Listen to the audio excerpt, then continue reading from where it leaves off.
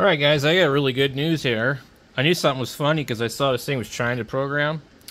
So the issue with this radio is this cable right here. And I had to take the knife out. And it's just that the, the cable, it doesn't want to fit this radio.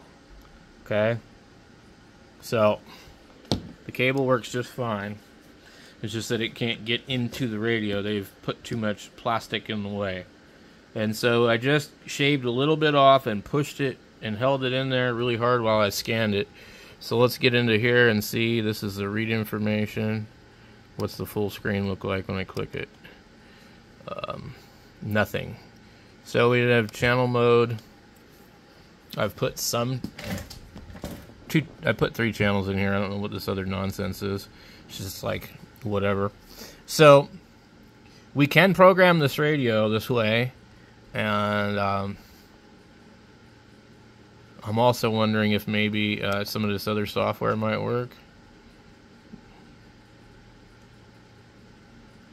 Okay. So I have tried.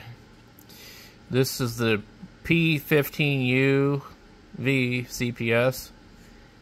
And then this one here, the T6UV. Um, that one somebody else said worked. Let's see if it does.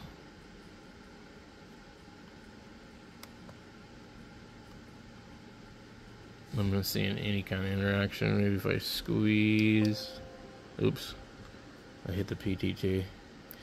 So, um, let me try this again. Okay, so that software fails every time. Um, so we'll go back into here to this other one, the um, for the GPS Pro, and um, let's see. I go into settings here just to check our COM port. We're on the right one. Okay. Let's go to read. Let me see if the radio does anything. Nothing. So we're not going to touch the radio because it might be the cable still. We'll close out this software. We'll go in here. And we'll open this one. And I don't understand why all these seem to be different. And even though they all say they're like based on the P15 UV CPS. Okay, so read. And click OK. And you see the radio is reading. So this one came off of the Miklor website. And then we go to look at the channels, VFOA, and it'll tell you what the settings are for each VFO. We have RX frequency. I don't know if we can change that. Um, 159. I think it's just where it's at. Um, scan ad, frequency hopping. Hmm. Okay. Four forty nine. Channel edit. Channel edit. So channel edit sh shows me this channel. So let's go in here and we'll do the channel. Uh, um, simplex. Okay, so we can't type in the full thing. Let's see if we can do caps. SMPLEX. Simplex.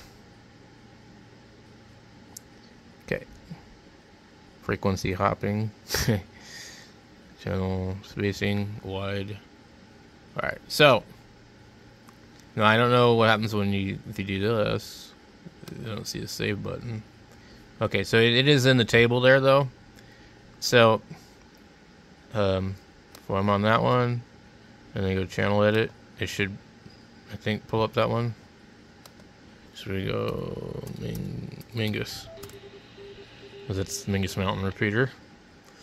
And then as soon as we do that, pops up in here.